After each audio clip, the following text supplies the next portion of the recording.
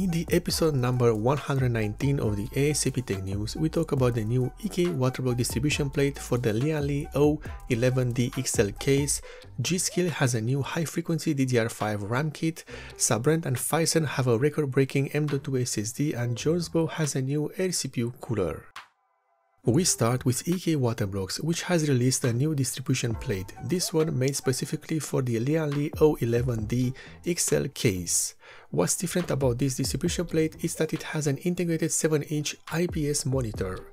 This screen will act as a secondary monitor on the system and can be used to display anything you want as long as it fits the resolution, which is 1024 by 600 pixels.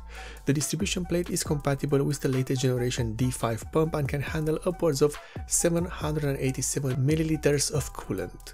Other features of this distribution plate include the deformation D5 pump, which is included and is the Generation 3 model, an addressable DRGB LED strip that runs down the entire length of the distribution plate, and an anodized black aluminum cover which hides the unwanted LED hotspots.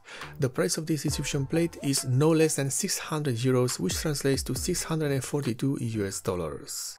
Next, Sabrent and Phison have been working together to deliver a record-breaking PCIe Gen 5 M.2 SSD. The Sabrent Rocket X5 Gen 5 SSD is the next-gen M.2 SSD that is already in the testing phase and has delivered upwards of 12GB per second of speed. The goal of the company is to develop a Gen 5 SSD that can break through the 14,000 MB per second limit. However, right now only 12,000 MB per second were achieved. Still, it's an impressive result for an M.2 SSD, especially since the competition is hovering at around 10 GB per second worth of speed. The Rocket X5 is still in the development and testing stages and the performance is expected to improve with time. No words for the price and capacity of this drive, but if history teaches us something is that these new top-end products will come at a premium, as they should, given the cost of development. We continue with G.Skill, which has announced a new Trident Z5 RGB RAM kit that sports a 8000 MHz frequency with the timings CL38, 48, 48, and a capacity of 48GB in a 2-module configuration. This RAM kit more than likely will barely run in a base Z790 motherboard as it requires a high voltage and a good memory controller plus good voltage management. The frequency and performance showcased is impressive and shows how fast the advancements of technology is at this moment. However, such RAM kits will make little to no sense for the regular user that just wants a bit more performance for almost the same price.